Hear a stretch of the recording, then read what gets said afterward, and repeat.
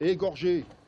Parce qu'il y en a qui m'ont posé des questions hier, parce qu'apparemment il y a des niveaux d'égorgement. Il n'y a pas de niveau. Égorgé, c'est égorgé. Et ce qui fait que Gilbert est encore vivant et a pu revoir sa femme et ses deux fils, c'est parce qu'il y a un muscle qui s'appelle le stéréno-cléido-mastoïdien qui est développé chez lui et qui a rebondi au moment où il s'est fait égorger et qui a évité que ça a coupé la carotide.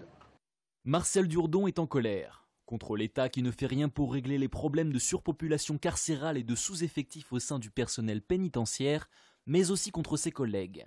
Car ce qui est arrivé hier, c'est également selon lui le résultat d'un manque d'application des consignes de sécurité et d'un défaut de solidarité et d'unité entre ses collègues. Comme ici où les gardiens laissent passer une camionnette de la gendarmerie alors que le blocage a été décidé.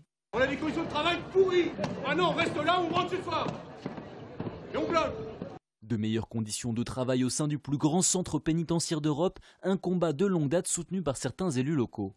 Madame euh, Taubira, je ne sais pas ce qu'elle fait. Elle ne répond ni aux syndicats ni aux élus. C'est devenu intolérable. Moi, désormais, ce n'est plus des courriers, ce n'est plus des avertissements euh, que euh, je formule. C'est tout simplement une demande de démission. Si on n'est pas entendu, ça se passera par des manifestations, des blocages devant les portes. Et c'est triste, on en est arrivé là, mais on prendra les responsabilités qui sont des nôtres pour se faire entendre.